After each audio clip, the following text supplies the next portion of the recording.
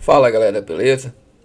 Então, na aula de hoje, a gente vai falar um pouquinho sobre cruzamentos, tá? Para aplicar a primeira lei de Mendel, que a gente já viu anteriormente, tá bom? Então, vamos lá.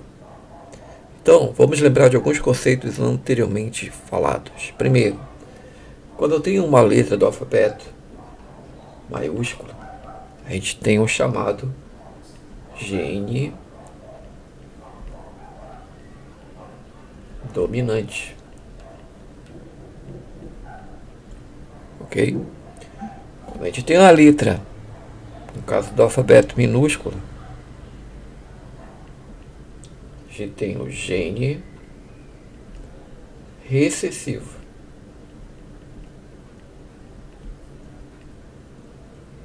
Tudo bem? Então, esse A maiúsculo, geralmente a gente vai chamar de azão, tá? Só para, em termos didáticos, para você entender que o azão é o gene dominante. E o azinho é o gene recessivo, tá bom? Então tá, no indivíduo, ou seja, bora colocar aqui uma pessoa, né? Bora colocar esse senhor aqui, ó. Esses genes vão estar aos pares. E normalmente a gente adota uma letra do alfabeto para uma característica. Por exemplo, vamos dizer que esse A maiúsculo, que é o gene dominante, ele determina a cor dos olhos castanhos.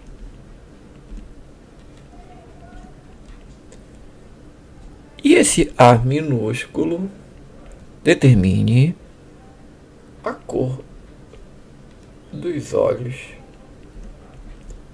azuis. Tudo bem então? Beleza. Então, olha, no indivíduo, a gente vai ter a seguinte coisa. A gente vai ter o par do gene. Por exemplo, esse rapaz aqui, vamos dizer que ele é azão, azão. Ou seja, o genótipo, as letras que ele possui, seja azão, azão. Então isso aqui seria o genótipo dele. A gente vai encontrar aos pares no indivíduo, tá bom? Então, esse razão razão aqui vai manifestar um fenótipo, né? Qual é o fenótipo que ele iria manifestar, segundo as letras que a gente colocou aqui? A cor dos olhos seriam castanhos. Mas por que, professor? Porque ele tem genes dominantes para olhos castanhos, tá bom? Vamos supor um outro indivíduo aqui. Bora colocar aqui uma senhorita, né? Pronto, aqui uma senhorita. Tá aqui a senhorita muito linda, muito bela. Digamos que ela tenha o azinho azinho nesse caso. Lembrando que o A aí vai determinar a cor dos olhos. Nesse caso, esse azinho azinho a gente chama de genótipo. Tá bom? GE. E nesse caso, ela vai manifestar um fenótipo. Fenótipo é a característica que esses genes vão proporcionar para o indivíduo. Que no caso, como é recessivo, né, a cor dos olhos dessa senhorita, a cor dos olhos vai ser azuis. Tudo bem então? Nada demais até então, né, pessoal? Bem tranquilo. Então, o que acontece? Acontece que esses indivíduos, eles podem vir a casar um dia, não pode? Então, na genética, quando a gente fala que indivíduos irão casar, a gente fala que os indivíduos vão realizar um cruzamento.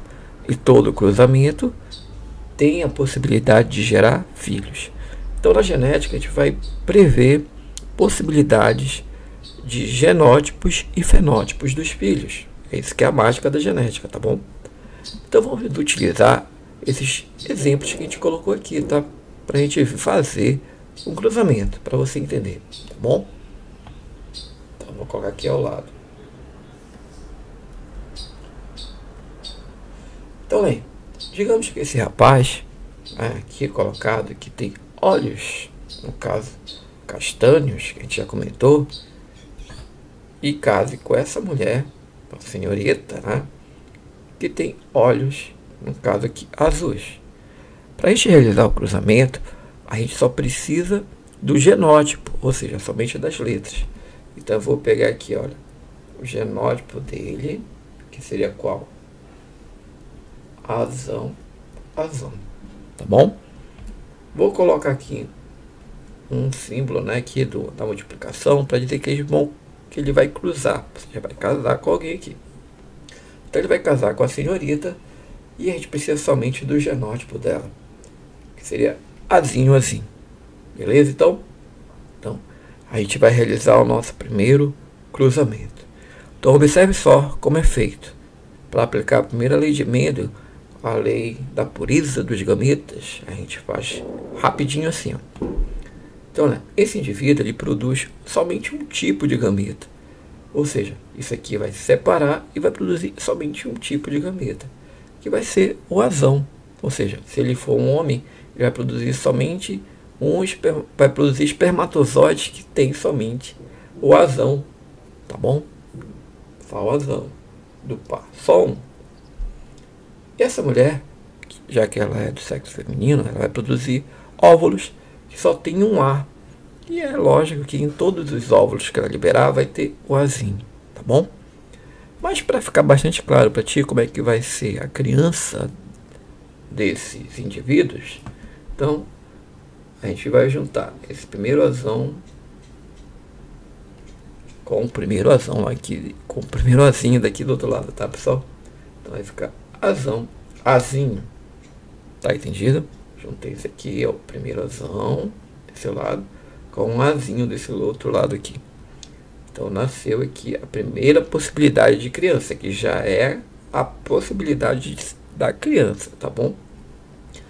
Aí olha aí, você pega o primeiro azão com o segundo azinho. Segunda possibilidade de genótipo da criança. Tá bom? Agora, acabou para esse azão aqui, para esse primeiro. Agora é a vez desse segundo. Você pega esse segundo azão com o primeiro azinho desse outro lado. Vai ficar azão, azinho. De novo, né? E finalmente o segundo azão com o segundo azinho. Vai ficar azão, azinho. Tá entendido então? Então aqui está realizado o cruzamento desses dois indivíduos. E isso aqui embaixo, essas quatro possibilidades de genótipos, é dos possíveis filhos desse casal. Tá entendido? Beleza, mas pessoal, isso aqui são quatro letras, né? Impares aí, seis são os indivíduos que são possíveis para os filhos? Sim. Então, isso aqui somente são os, a gente chama de genótipo, né? Genótipo, são as letras. Genótipos. Mas e aí? Quais seriam os fenótipos, no caso aí, considerando que a característica é a cor dos olhos aqui? Esses indivíduos teriam olhos castanhos ou olhos azuis? Então observe o seguinte, que esse indivíduo aqui, ele é assim, ó, azão, azinho. Ele tem um gene dominante que determina a cor dos olhos castanhos e um gene recessivo que determina a cor dos olhos azuis. E aí, ele vai ter metade do olho azul e a outra metade castanho? Não, nesse caso aqui não tem isso, tá pessoal? Ele vai manifestar a característica dominante. E qual seria a característica dominante? A característica dominante é ter, no caso aqui, os olhos castanhos. Ou seja, para esse genótipo aqui, nessa condição, para esse genótipo, a cor dos olhos seria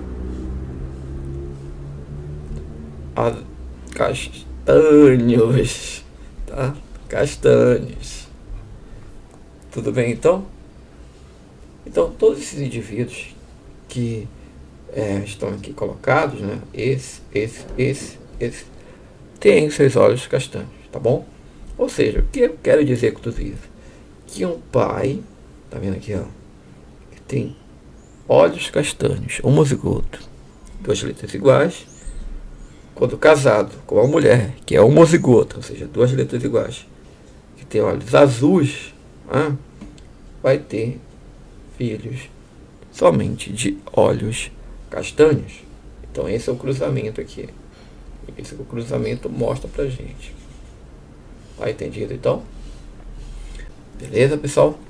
Então, a aula de hoje seria isso.